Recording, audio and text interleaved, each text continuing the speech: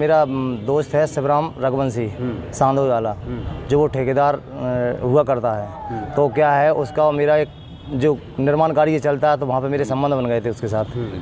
तो हुआ उससे क्या आपके साथ? मैं बता रहा हूँ पूरी चीज़ बता रहा हूँ। तो क्या हुआ वो वार्ड क्रमांक चार से लड़ रहा था। तो वो भी जीता और मैं भी जीता। मेरी पत्नी जीती।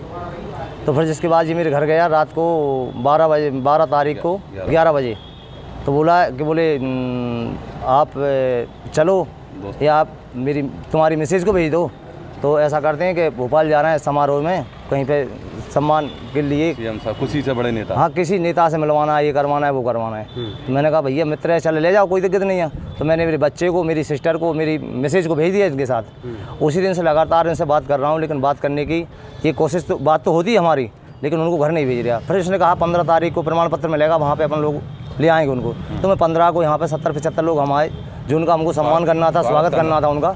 तो यहाँ पे पंद्रह तारीख को फिर भी लेके नहीं आया। मैंने कहा भैया ऐसा क्यों कर रहा है तू मेरे साथ? इसलिए श्रीमान जी फिर मेरे को गुस्सा हुआ। इसलिए फिर मैं आज एसपी साहब बारह तारीख से गायब है आपकी बारह तारीख से। रात को ग्यारह बजे से। प्रमाण पत्र मिला था पंद्रह तीन दिन उन्होंने आपको क्या लग रहा है? क्यों इस तरह से हुआ है? मुझे ऐसा लग रहा है कि वो गुमराह करके कोई ऐसी बात खड़ी करना चाहता है। दबाव में है या मुझे दबाव मेरे लड़के से बात हुई थी सोलह तारीख को। तो लड़का भी मेरा दबा हुआ बोल रहा था मेरी मैसेज भी थोड़ी डरी डरावनी सी थी। मेरी बहन भी डरी डरी सी थी। नहीं नहीं, इसका इसका कारण क्या लग रहा है? क्या काय के लिए अपहरण किया उन्होंने मुझे ऐसा लग रहा है वोट के कारण ही उन्होंने अपहरण किया अध्यक्ष पद के लिए? हाँ। जी जी जी। अब आपकी पुलिस से बात हुई पुलिस बाहुबली लोग हैं वो। क्या या किसी को बेचना चाहते या हैं किसी को- बनना चाहते मैं भरत सिंह आदिवासी मेरी मम्मी भुरियाबाई आदिवासी जिला अशोकनगर से जिला सदस्य हैं वार्ड क्रमांक छः से। जो भी कोई अफवाह फैला रहा है वो सब झूठी है। हम अपनी मर्ज़ी से बाहर घूमने आए हैं। ना किसी का ज़ोर ज़बरदस्ती, ना दबाव है। ये सब गलत है।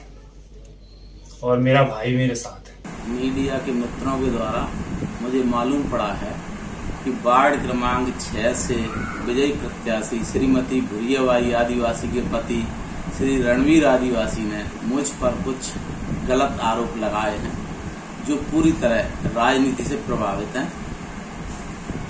ना उसका परिवार का कोई सदस्य मेरे पास है, न मेरे साथ था।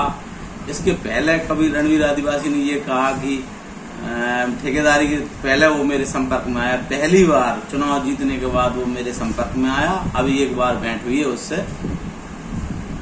और कभी मेरे साथ उससे कोई संबंध मेरे नहीं रहे उसके पहले। ये मैं पुलिस प्रशासन पुलिस प्रशासन से मांग करता हूँ कि इसकी निष्पक्ष जाँच की जाए।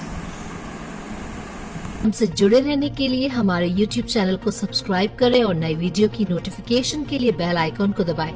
अगर आप ये वीडियो Facebook पर देख रहे हैं तो लाइक ज़रूर करें और ज़्यादा से ज़्यादा शेयर करें। धन्यवाद।